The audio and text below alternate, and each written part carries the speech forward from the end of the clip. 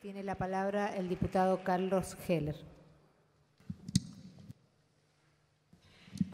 Gracias, señora presidenta. Voy a ocupar solo un par de minutos y voy a insertar eh, mis argumentos, habida cuenta que muchas de esas cosas ya han sido expuestas tanto en la exposición del diputado Kisilov como la del, diputado Bocio.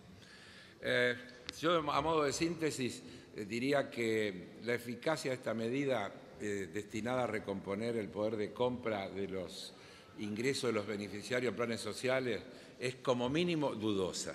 Por todo lo que aquí se ha dicho, se ha expresado, este, creo que es realmente desconocer los hábitos, las prácticas y la, realidad de esos sectores y de los comercios que los atienden.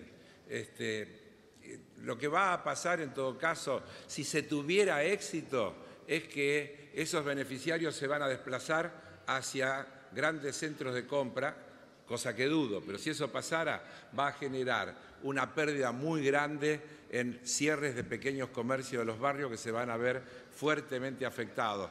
La solución no puede ser esta, requiere una serie de medidas porque esos comercios, si tienen que cumplir con toda la legislación impositiva vigente, cierran. Y atender con tarjeta de débito los obliga a blanquear su actividad. Hay que pensar en cosas más integrales.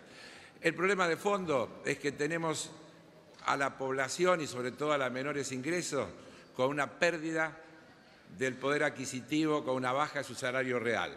Me voy a permitir una cita que este, supongo tiene el valor de que es difícil cuestionarla desde el punto de vista de la objetividad.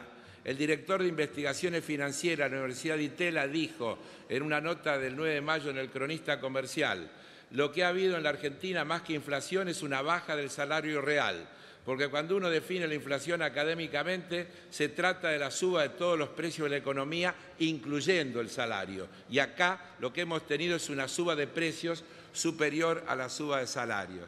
Si queremos atender entonces a los sectores más desprotegidos, creo que la medida de emergencia es otorgarle los 300 pesos sin ningún tipo de mecanismo y en todo caso abocarnos a estudiar un conjunto de medidas y de políticas que hagan posible cumplir los objetivos que este proyecto plantea. Tenemos que este, entender que en el marco de estas políticas financieras, donde hoy, por ejemplo, se puede ganar sin riesgo alguno 12% en dólares, comprándole BAC y comprando un seguro de cambio, no pueden permitir que los sectores de menos ingresos puedan recomponer su situación. Por lo tanto, este, tengo muchas más cosas para decir, pero dije que iba a usar dos minutos.